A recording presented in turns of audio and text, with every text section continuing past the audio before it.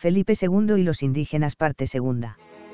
El interés demostrado por Felipe II mediante la promulgación de leyes, estaba evidentemente incluido dentro de un contexto que no era otro sino, primero conocer cuál era la realidad de los territorios descubiertos y conquistados, así como los problemas que la presencia de España en los pobladores en aquellos territorios, y posteriormente intentar darle solución. No resulta, pues, extraño que Felipe II pretendiese enfrentarse a tales problemas mediante una investigación previa acerca de las culturas indígenas. En este punto la presencia en el Consejo de Indias de Juan Obando en 1567 vino a significar una gran reestructuración de los métodos de gobierno. No solamente en cuanto a ellos sino también a las reglas de conducta, de gobierno y de respeto al mundo indígena. El nombramiento de Juan de Obando no era sino continuación de la designación del obispo de Sigüenza, Diego de Espinosa, como presidente del Consejo de Castilla e Inquisidor General. Dicho obispo encargó al clérigo Luis Suárez un informe detallado en 1566, que, recibido por Felipe II le causó una gran impresión, puesto que venía a significar una denuncia clara y evidente del desgobierno existente en los territorios ya conquistados o en avance de conquista. Fue ese informe el que provocó, con gran desasosiego por parte del monarca, la convocatoria del Consejo de Indias y desde ella designar al dicho Juan de Obando con la finalidad de confirmar todas las acusaciones que se reflejaban en el informe del clérigo Luis Suárez. El eminente inquisidor Juan de Obando, no solamente ratificó las acusaciones del clérigo, sino que amplió tanto las denuncias hasta el punto de aludir a que el Consejo de Indias, verdadero gobernador de la tierra americana, carecía por completo de información, fundamentalmente en referencia a los pobladores indígenas, sus culturas, sus lenguas, sus tradiciones.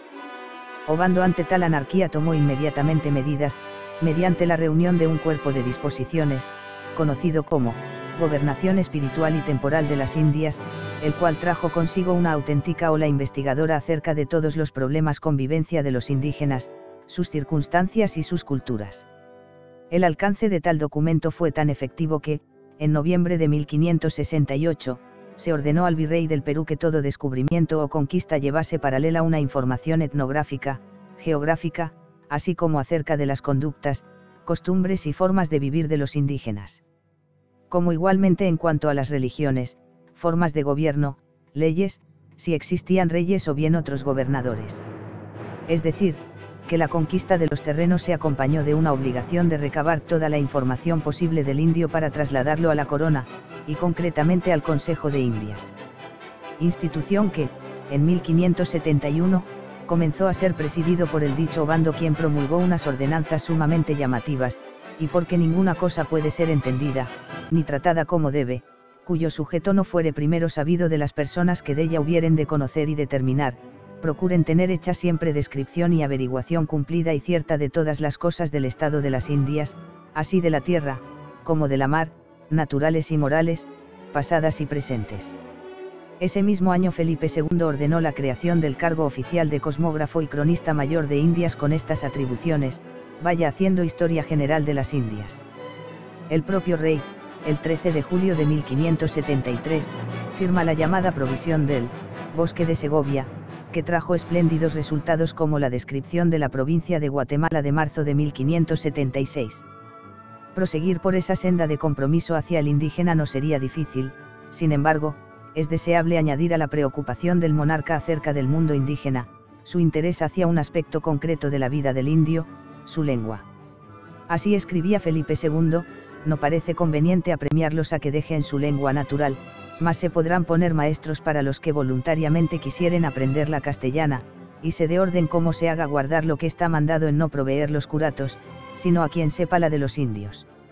En esta línea es reseñable lo siguiente, si la primera gramática de la lengua náhuatl debida al franciscano fray Andrés de Olmos es de 1547, es decir, aún bajo el reinado de Carlos V, la primera edición de un vocabulario del náhuatl, también obra de un franciscano, fray Alonso de Molina, es de 1555, casi en los albores del reinado de Felipe II.